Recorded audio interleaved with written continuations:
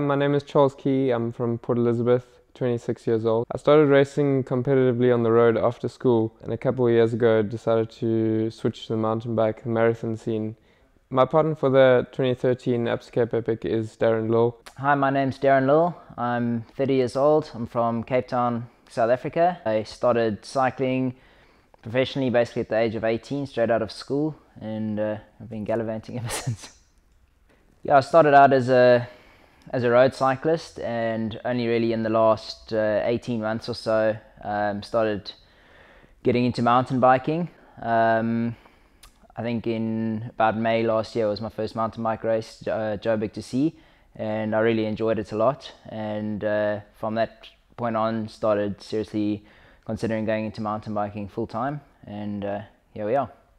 Riding a mountain bike tour together is uh, can almost be like a marriage in a way that you, know, you, you, you see the best and the worst in people. Go pretty grow grow pretty close in the eight days together, or pretty far away. I'm not. Uh, we'll see how it works out. We have some fantastic sponsors on board this year. Um, title sponsors being Cannondale and Blend.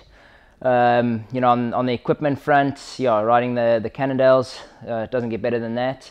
And uh, Giro, Easton, uh, components, also, you know, really, really top-notch stuff. Tell me, tell me how what it's like to be to be married to a, a woman taller than you, Darren. nice one, Charles. Uh, probably the opposite of what it would be like to go without to be married with someone shorter than you, half your size. No, I don't think uh, I don't think that's. Uh... Mm, it's it's fantastic. You like right at breast level, and okay. it's, it works out quite well. Yeah. very cool.